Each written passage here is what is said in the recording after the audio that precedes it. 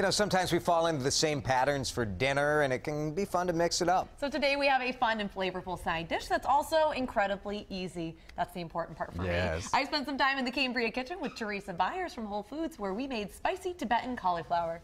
This cauliflower is kind of hot right now. I feel like that's kind of the vegetable of the season. Definitely, people are using it for rice, um, pizza crust, whatever you can think of. But it's also like a great side dish. Maybe in like maybe in addition to potatoes, but a lot of people are subbing it out and you have kind of a spicy kick today. What are we making? Yeah, so this is our spicy Tibetan cauliflower, which you can get in our um, prepared foods case at the store, or you can follow the recipe that we'll have for you as well. So we start off with just the cauliflower and you guys sell it already kind of chopped up. We do, so you can buy a whole head, or if you don't want to chop it up yourself, you can buy it like this. Um, and over here we have the green beans that we're going to add to it as well. Okay. Um, so you are just going to break those in half and take the end off as well, because you don't want to eat that part. Easy enough.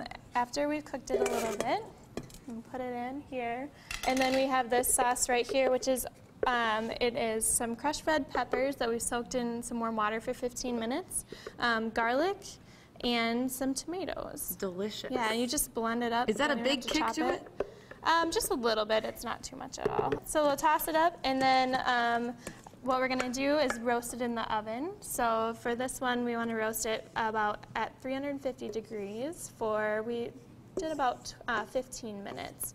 So you want to look for that caramelized um, look on it, a little bit browner edges. And then once you pull it out, you add a little bit more sauce. Yeah, so you're going to toss it with a little bit so- of sauce, some fresh chopped cilantro. You can also garnish some over the top of it, um, like so, to just make it look pretty. Beautiful. And then also we've added um, some sesame seeds, some white and some black ones, just to give it a nice appearance. This looks like a restaurant dish. I mean, you could definitely impress people. So let's go ahead and give it a try.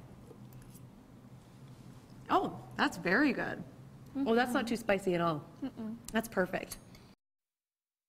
I don't handle spice very well, so maybe you would want you could add a little bit more kick, but I thought it was perfect. It's a beautiful dish. It is too. well, and what's fun is so that's what they sell in their, you know, their prepared food section. Oh. So it's kind of cool that they're sharing those recipes. That is with cool. us. You could just make it at home. Yeah, exactly, and then you could save it, you know, for a side dish or bring it to work the next couple of days. We do have the recipe at wcco.com/links. Awesome. Cauliflower- Cauliflower's kind of having a moment. It is. It's very oh, hot. It's a big very hot. So hot. Big It used to be so boring. That's great.